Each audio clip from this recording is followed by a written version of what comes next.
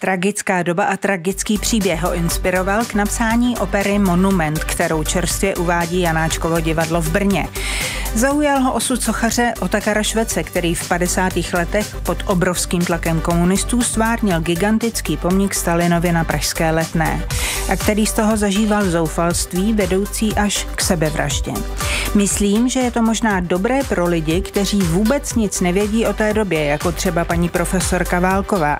Říká s dodatkem, mohlo by se jí připomenout, že zrovna v té době pan Urválek odsuzoval Miladu Horákovou. Syn legendárního režiséra Alfreda Radoka, režisér a scénárista David Radok je mým dnešním hostem. Vítejte, dobrý den. Dobrý den. A od mikrofonu Českého rozhlasu Plus zdraví Barbara Tachecí. Osobnost Plus.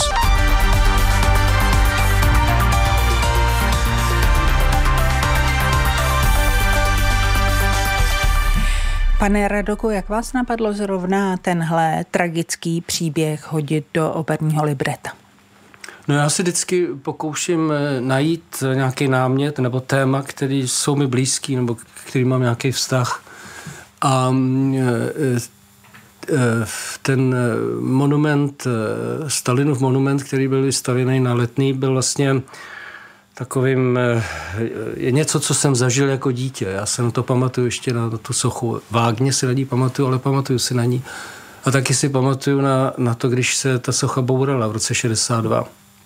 A protože je to takový příběh, který vlastně je taková umocněná antická tragédie, tak já jsem už dlouhou dobu jsem měl v šuplíku takový námět, který by volně stavěl na, na této skutečné události.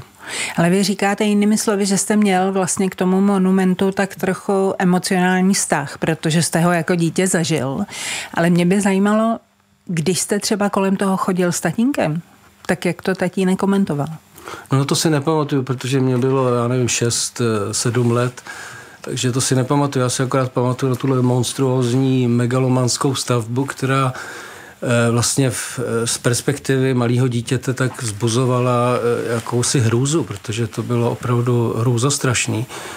A potom si pamatuju na to, když, když jsem s kamarádama seděl na štvanici na kusech, eh, eh, které byly skladované za zimním stadionem a kam jsme chodili kouřit eh, s kamarádama a když jsme seděli prostě na knoflíku od košile, který měřil metr. Jo. Hmm.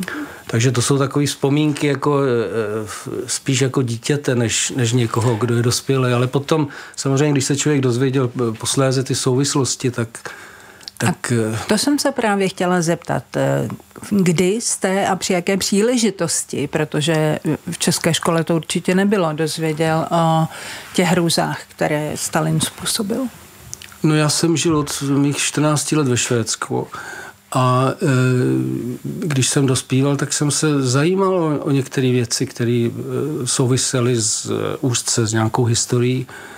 A nejenom českou samozřejmě, ale eh, já myslím, že ta, ten, ta skutečná událost toho monumentu je, je opravdu něco tak eh, absurdního a něco tak dramatického, že si to opravdu člověk eh, mm, skoro nemůže vymyslet. A co je na něm nejabsurdnější na, té, na tom příběhu, myslím? No tak když si představíte, že, že těsně po válce Eh, se rozhodne komunistická strana postavit eh, největší pomník v Žule, nebo ze Žuly, eh, největšímu masovému vrahovi vůbec dějin. A děje se to v době, kdy mm, probíhají ty nejhorší politické procesy, kdy vlastně bída po té válce a staví se tento pomník, který, eh, který, eh, kde musíte spevnit celou letnou, aby ten pomník eh, mohl stát na tom kopci. No a potom, když staví to za života Stalina, ale během té stavby, jedna, která samozřejmě Švec spáchá sebevraždu, ale Stalin umře a zjistí se, že to nebyl ten velký vůdce národů a velký zahradník a přítel dětí, ale že to byl masový vrah a ta strana pořád nemá odvahu až do roku 62 tuto obludnou stavbu zbourat. Říká David Radok u nás ve studiu eh, Českého rozhlasu Plus.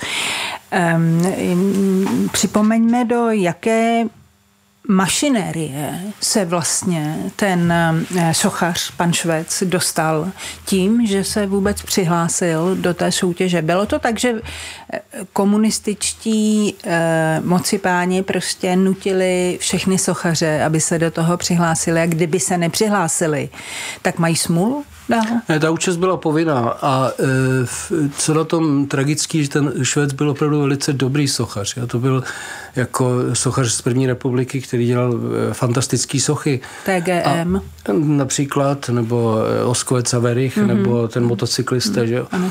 A um, on vlastně, když se do té soutěže přihlásil, jak musel se přihlásit do té soutěže jako všichni ostatní, tak stvořil uh, jakýsi návrh monumentu, o kterým si myslel, že, že je nerealizovatelný. Že? Protože ten monument měl 15-metrový sokl, 15-metrová byla ta socha, to znamená 30 metrů na výšku, 12 metrů na šířku a 22 metrů na dílku. Eh, ten zástup za Stalinem. A eh, všecko to bylo eh, vytvořené z materiálu, který vlastně není sochařský materiál. Žula není, jak někdo říkal z těch sochařů tenkrát, žula je dobrá na patníky, ale ne na, na, na sochy. Že? No a on to takhle navrhl, aby se, aby nevyhrál. Aby nevyhrál, no. A ten paradox byl to, že on to vyhrál. A je pravda, že všichni ostatní sochaři se snažili dělat takové návrhy, aby prostě nevyhráli, protože od téhle hrůzy chtěli všichni dát ruce pryč? E, to já nevím. To já nevím. Já předpokládám, že tam určitě bylo mnoho sochařů, kteří chtěli dostat největší zakázku světa. E, ale e, jak se říká, já nevím, jestli je to úplně doložený, ale se říká, že ten Švec, protože byl dobrý sochař, a protože eh, byl orientovaný v té době a věděl, o co se jedná, tak eh, že to, že to nechtěl vyhrát. A mimochodem v té době už se vědělo, jaké hrůzy má Stalin za sebou třeba v 30. letech. Vědělo se to obecně tady eh, v Česku? Obecně určitě ne, ale ty první informace o Stalinovi a o Sovětském svaze Eh, už v 30. letech byly eh, v jisté společnosti byly známí. Že jo? F. Burian eh, psal, já nevím v kterém roce, ale bylo to před válkou, psal do, do Sovětského svazu, aby mm, propustili Meyerholda třeba. Že? Hmm. To znamená, že on věděl, co se tam děje. Že? Nebo tušili, co se asi děje. Eh, co vlastně konkrétně dohnalo eh, pana Švece k té sebevraždě? No já si myslím, že to pro něj eh, ten, ten pomník a všechny ty celá ta stavba, že pro něj byla jako osobní tragédie neskuteč, kterou se nedovedeme představit že jo, dneska, ale Um, já jako myslím, se styděl za tu stavbu? Ne, ne, já nemyslím, že to, to nebyla jen, jen stud, ale to bylo prostě nějaký jakosi já se domnívám, že to byl jakýsi prostě morální selhání, že vlastně slouží moci, která je vysoce amorální a že staví vlastně eh, sochu opravdu tomu jednomu z největších vrahů e, historie. Ale jak je možné, že mu to došlo až, eh, když byla ta stavba dokončena? Vždyť to musel vědět už předem. E, no to já nevím, ale já, vidíte se, to, to v 49 byl vypsaný konkurs, socha byla dokončena v roce 55, to znamená, že se stavěla pět let a během těch pěti let docházelo k různým eh, úpravám podle, eh, na, podle připomínek, které přicházely z politických připomínek a já myslím, že to musel být takový pres na toho, na toho sochaře, na toho švece, že, že to nemohl vlastně nikdo vydržet. Jo. Mimochodem, do jakých úprav ho tlačili? Aby zvětšoval Stalina na úkor ostatních lidí, to jsem četla, ale ještě něco? No tam, tam byli, původně tam měli být eh, členové nějaké, já myslím, že já už si nepamatuju přesně, ale měli tam být nějaký specifický eh, politici za ním stát v té frontě, že jo ale eh, to bylo moc riskantní, protože v té době už se začaly dělat ty politické procesy, to znamená, že nikdo nevěděl, kdo, kdo by mohl, kdo vydrží, že jo? takže proto tam byli anonymní eh, vojáci, zemědělci, a Fučík. Eh, dělníci, Fučík tam snad nebyl. Já myslím, ne? že Fučík, Fučík tam byl no, a Protože byl mrtvý asi, no. Tak, no. no, no, no, tak to je možný. Já už si nepamatuju. Mým dnešním hostem je eh, režisér a scénárista David Radok. Řekněte mi, když píšete libreto a potom režírujete, takovouhle uh, operu na takhle těžké téma, tak jste soustředěný na to, eh, soustředěný na to, eh, na to eh, umělecké stvárnění, a nebo vás pořád bere ten příběh? No ten příběh je ten hlavní motor toho a potom, že když máte takhle silný příběh, tak vám samozřejmě ty, ty situace se vám jakoby přicházejí zadarmo, protože mm, to, to je jako takhle, opravdu takhle dramatický příběh by si těžko někdo mohl do, eh, vymyslet. Jo. To znamená, že vám to nějak vlastně padá eh, automaticky různé možnosti, různé situace, různé vztahy, různé atmosféry, které vám, eh, který nějak prostě vám nabízejí různé scény, že jak to stavět dohromady. No a já, já taky, že já dělám operu 40 let a takže jsem zjistil, který libreta jsou dobře stavěný a který jsou špatně stavěný a proto jsem se pokoušel um, aby to nebylo um, moc literární, aby vlastně ten, ten, ten text, to libreto, aby to byla jakási podpůrná kostra pro, pro, pro tu hudbu, protože ta hudba v té opeře je vlastně tím tím hlavním hybatelem eh, příběhu. Mimochodem, eh, ten, kdo stvárnil hudbu eh, do této opery, to je váš kolega, připomeňte mi jeho jméno. Tak kamarád Marko Ivanovič, tak, tak, který ale... je nejenom výborný dirigent, dobrý skladatel, a e, jako my jsme už před asi pěti lety o tom začali mluvit. Ale e, on řekl, že jste vlastně chtěli postavit celý ten příběh nadčasově, mimo nějaký konkrétní prostor.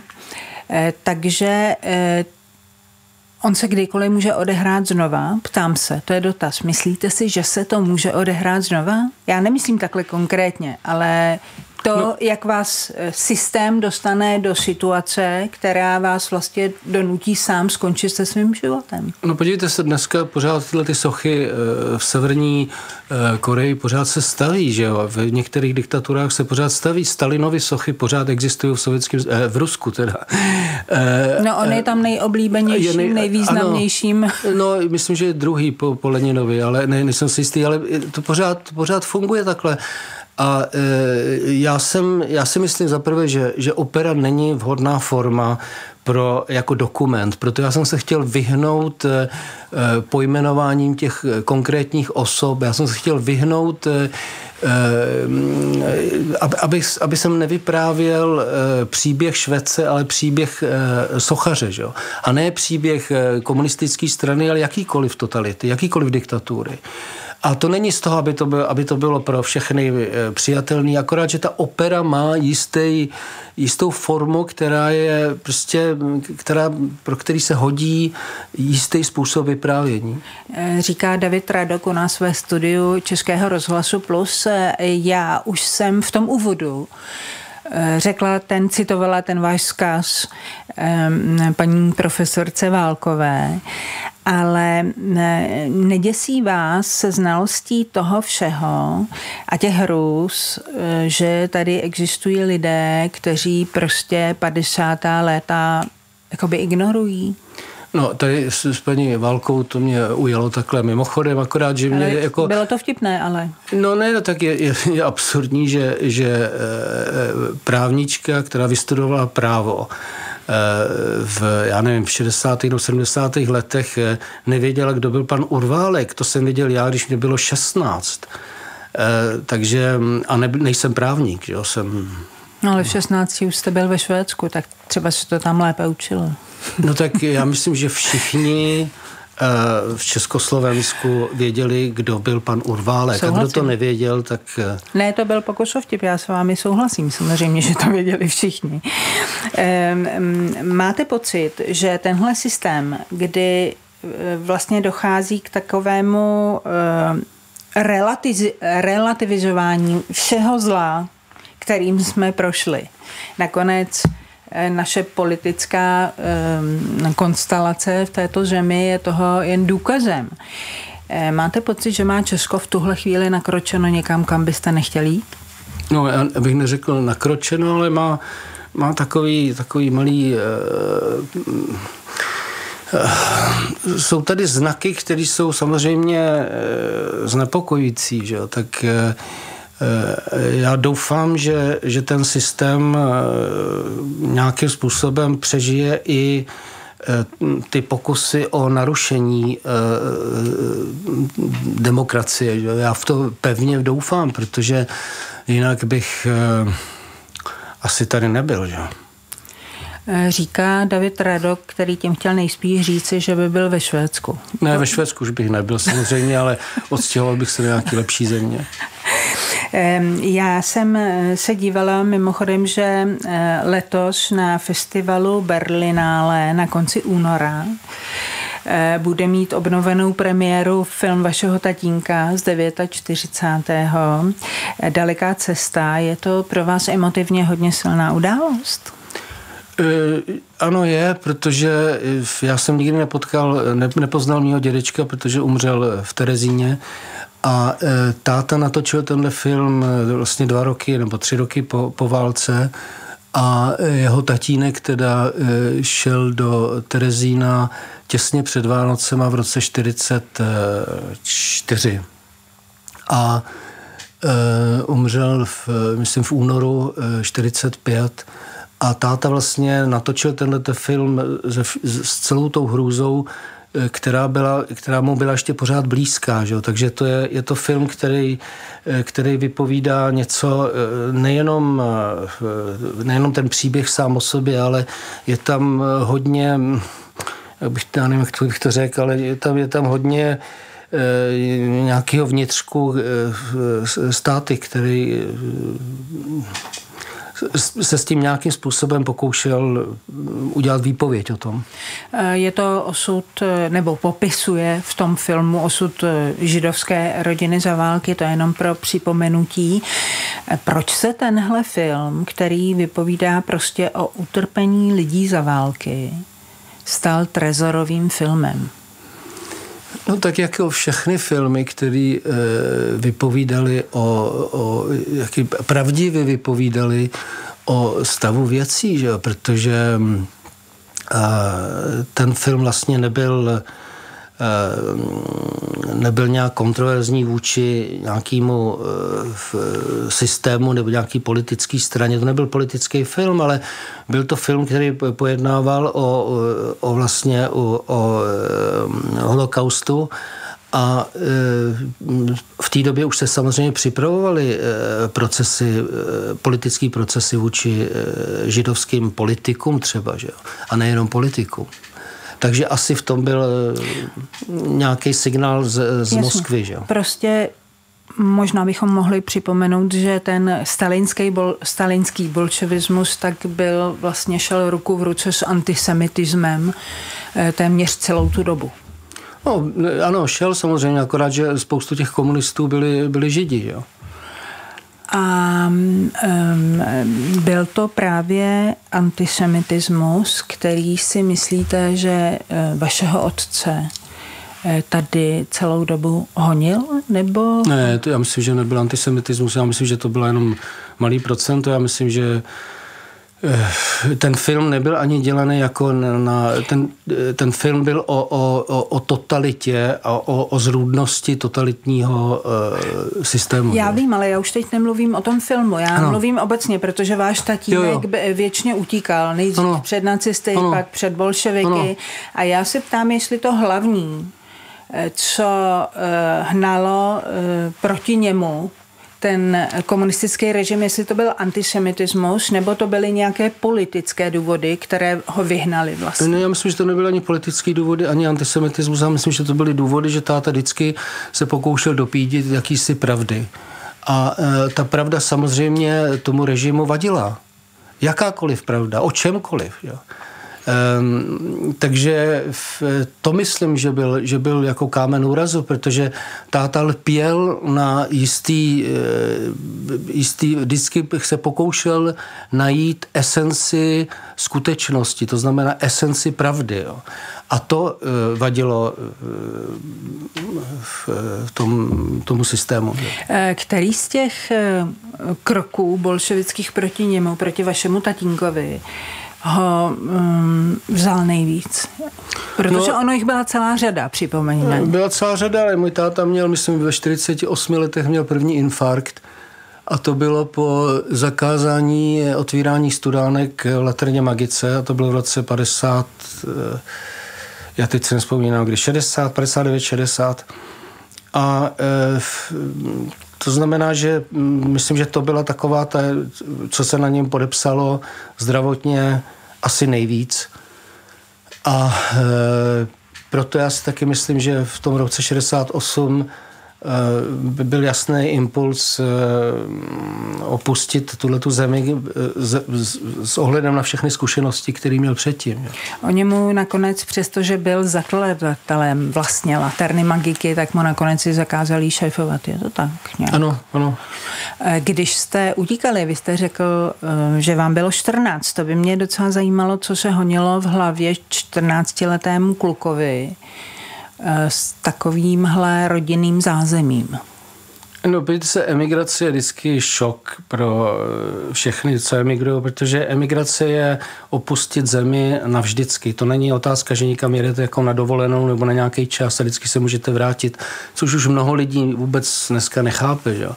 A e, jako pro mě to byl jistý šok, ale samozřejmě pro ty rodiče to bylo daleko horší, protože to dítě 14 letý vlastně má nějakou schopnost se adaptovat a e, přijmout e, nový impulzy, naučit se řeč a jako zapadnout do té společnosti. Když to, když máte někoho, kde je o generaci starší nebo ty rodiče, to pro ně byl, eh, to, to, to bylo opravdu, to nebylo lehký vůbec. A mimochodem pamatujete si jako dítě na eh, takový pocit, že vaši rodiče nebo tatínek, že je opravdu zoufalý z toho, co se mu děje? Nebo to před vámi schovával? No, rodiče vždycky tohleto přede mnou schovávali táta, já vím, že, že byl, já vím, že byl zoufalý, já vím, že, že to bylo pro něj vlastně tragédie, ale on se vždycky pokoušel eh, to ne, ne, ne, nehodit na, na rodinu. Že? Takže vlastně máma byla ta, která se pokoušela nějakým způsobem eh, podržet a nějak dát dohromady tu rodinu v té emigraci a starat se o, o, o ten chod, ale já zpětně si uvědomuji, jak těžký to muselo být. Ale řekněte, vy sám jste chápal, proč utíkáte? Jako ten, ten kontext celý Jste znal nebo ne? Ne, já jsem chápal samozřejmě některé věci, protože já jsem tady chodil do školy těch 14 let a e, věděl jsem přibližně, že, že, e, že jako v, v jaký zemi žiju samozřejmě, ale viděl jsem to z perspektivy vlastně e, dítěte. Že? Takže to je něco jiného, že, že nevíte, nemáte ten rozhled, nemáte tu, tu informaci o, o, o všem. Že? Říká David Radok, dnešní eh, host osobnosti plus. V čem jste po otci? Eh, já nevím, já, já myslím, že jsem samozřejmě tou, tou eh, výchovou nebo tím, že jsem vyrůstal v té rodině, tak samozřejmě jsem, jako každý dítě jsem některé věci prostě zdědil. Pardon a který jsem dostal a mm, já nevím, o divadle, já, já, jsem, já jsem byl mm, tak mladý, že jsem vlastně, když táta umřel, mě bylo 22 a já jsem vlastně do té doby byl pořád, eh, jsem byl takový, takový mírný pubertě, že až do těch 22 let. Takže jsem vlastně neměl, eh, jako zájem o divadlo mm, jsem moc neměl ani do té doby. Že jo. Takže já to, jako, že bych zdědil nějaký, já samozřejmě si pamatuju na některé představení, který táta dělal um, hlavně v Praze, že jo, ale um, ale já jsem se bohužel jako, já jsem nikdy bohužel s tátou nemohl o divadle mluvit pořádně, jako, jo, co by mě dneska strašně zajímalo. No. Um, um, už jeden z posledních dotazů. Máte pocit, že takové to otcovo ta schopnost rozloučit se se všem a utéci, když je nejhůř. Že tohle máte taky v sobě?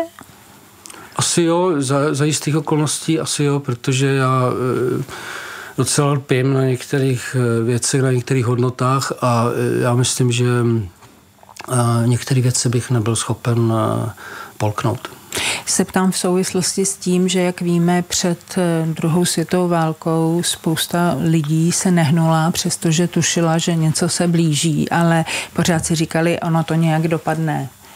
a um, nepřežili posléze. Hmm. Tak jestli jste takový, že byste spíš lpěl na tom prostoru, kde jste, anebo hodil věci do báglu, lidově řečeno, a šel. No, paní Tachyci, já nevím. Nevím, to je otázka, která se nedá zodpovědět takhle. To, člověk se dělá tu volbu, až když něco nastane.